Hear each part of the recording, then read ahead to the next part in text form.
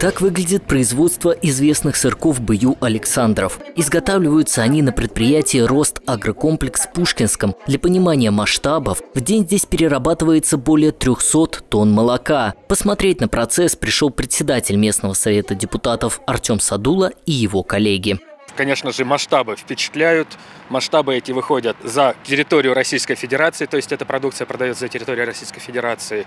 Очень, э, наверное, гордо, что есть э, такое предприятие на территории городского округа Пушкинский.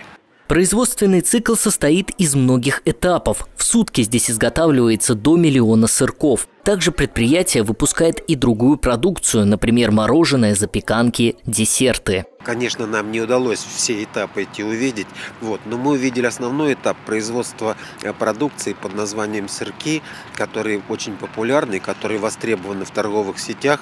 Их покупают все жители э, Московской области как минимум.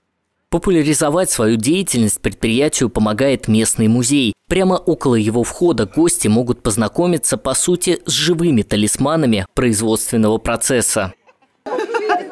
Язык, язык. Язык.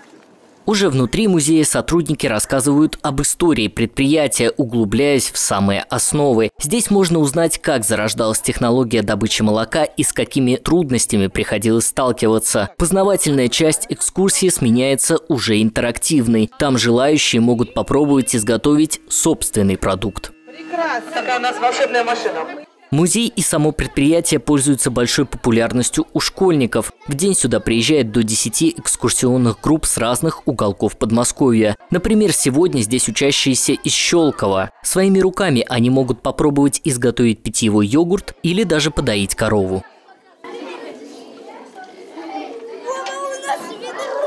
Мне больше всего понравилось, если честно, все все это здание и даже маленькие коровки, которые на улице. Они очень прикольные. Мне больше всего понравилось, как показывали видео, мы сидели на подушках, нам рассказывали о яках, коров, сколько они процентов жира. Мне очень понравилось, и моим детям, вы, наверное, это видите по их эмоциям.